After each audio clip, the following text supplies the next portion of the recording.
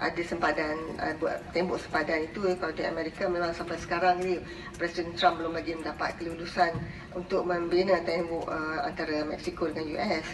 Kita bersama juga kalau apa sebab apa um, harga men, mem, membina tembok ni adalah begitu tinggi sekali.